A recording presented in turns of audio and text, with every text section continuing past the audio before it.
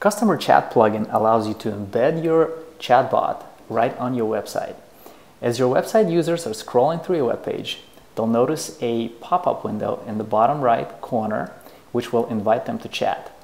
When they click the button, they will get a message or a series of messages from your bot that you can set up to be specific to those users who are initiating the conversation with your bot from your website.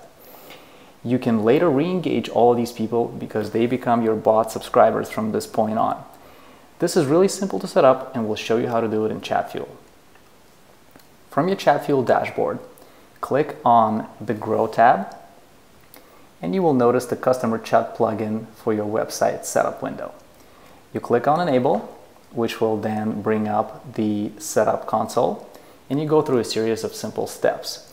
First, you send a request to Facebook for, and wait for their approval while this functionality is in beta mode.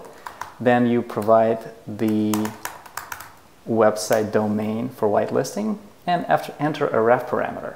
The reason you want a ref parameter is because you can set up multiple different entry points on your website uh, depending on the page your users are coming from to be provided with a different message. For example, let's set up a blog entry ref parameter in this case. This will generate a code that you copy and paste on your website. We click copy and then we can use this code to set up on our website.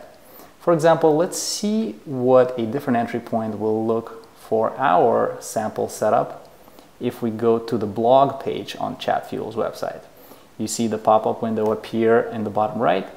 We click chat and instead of the black and white robot that we saw in the first example, we get this colorful dancing robot here because we set it up in a different flow with a different entry point ref parameter.